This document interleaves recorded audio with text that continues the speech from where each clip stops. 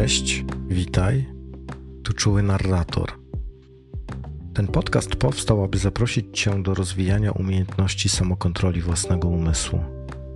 W każdym odcinku będę prezentować technikę, praktykę, medytację, ćwiczenie, kontemplację, wizualizację, a czasem wiedzę, które są narzędziami do uzyskania przez człowieka, przez Ciebie, swojego naturalnego i pełnego potencjału.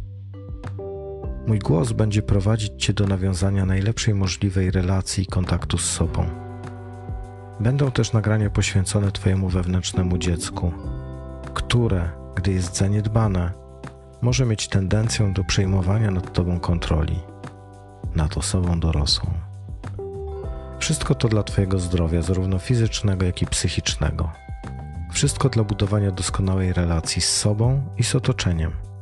Dzięki tym praktykom Twój mózg, Twój umysł stanie się narzędziem w Twoich rękach, które umożliwi osiągnięcie pełnego potencjału istocie, którą jesteś. Serdecznie zapraszam.